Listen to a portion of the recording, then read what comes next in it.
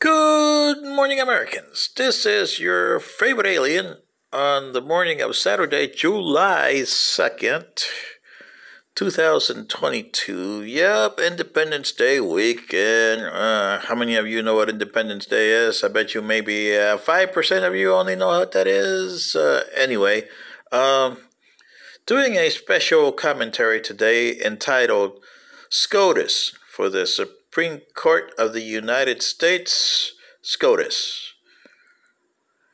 Opened 1850 all over again. Okay, and let me explain why I say that. When the Supreme Court overturned Roe versus Wade, uh, it brought back the 1850s.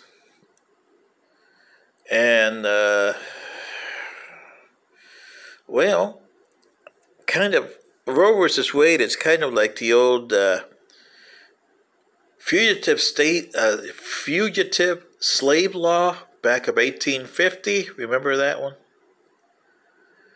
The Supreme Court says, oh, well, we overturned Roe versus Wade, and now it's going to get flooded with all kinds of Supreme Court decisions, lawsuits, and everything related to overturning Roe versus Wade. And why? And it also opened the Pandora's box of civil war.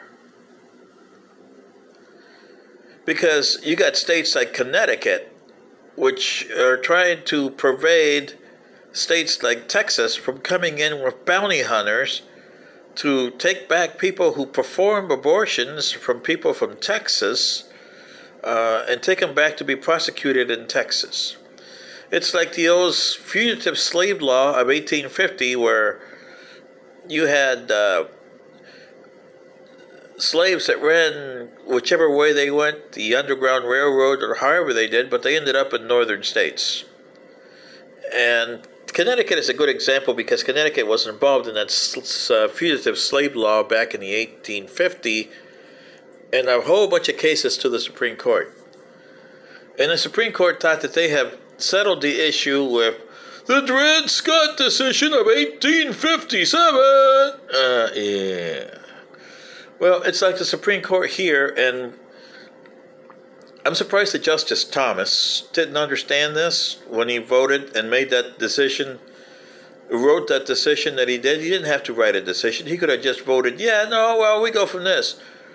But you're going to be flooded with all kinds of lawsuits, cases related to Roe versus Wade because of the way you did it. You got red states and you got blue states. Just like in the 1850, you had slave states and you had free states. There's no difference. It's slave and, and uh, free states all over again.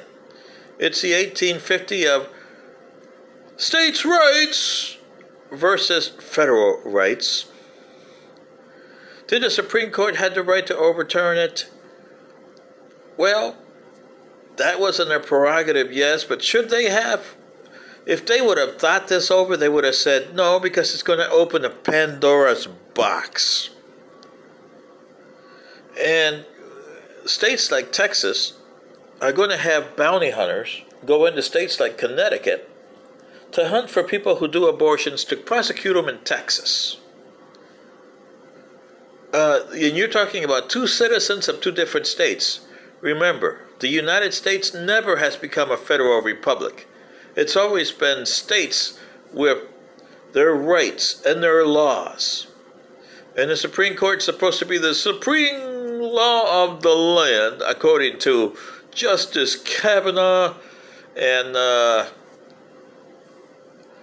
uh, Justice Gorsuch. Remember those guys when they were nominated there? Oh, it's a Supreme it's the uh, Court of the Land and Justice Ketanji Jackson, which would like to vote the other way on her issues. And they're forgetting about the issues of the Supreme Land, normally the United States of America here. So what are you going to create? You're going to create fugitive laws like the slave law where you're going to have band of bounty hunters coming into the state of Texas uh, from the state of Texas to the state like Connecticut and uh, hunting those people down to perform the abortions and taking them to Texas for prosecution. Uh, don't we have a basketball player in Russia with the same kind of problems over there right now? Uh huh. See what I mean? So, Americans, I don't understand why don't you stand up to the Supreme Court and the Democrats and Republicans and the Congress and the presidency and say, we want our nation. We are one nation under God, indivisible, and justice for all. Where has all that gone? Isn't that your pledge of allegiance to the United States flag, or are you kicking the flag down on the ground and making it dirty? I don't know. It's up to you, Americans. But the Supreme Court has opened the Pandora's box to 1850 and to 1860 with secession. Because if this keeps on going, and there's going to be a lot of cases in the Supreme Court the next coming year or two, and you're going to have bounty hunters that are going to be sent to pick up these guys that perform abortions in states like Connecticut and radical states like Texas. Ugh. Now I see why President uh, Biden was saying there's a Neanderthal in Texas. Uh, yeah, there's one in Florida too. But anyway, if you guys can't think the way you guys think and look at the people and think of your citizens instead of your party and your point of view, you would be in much better shape. Good day.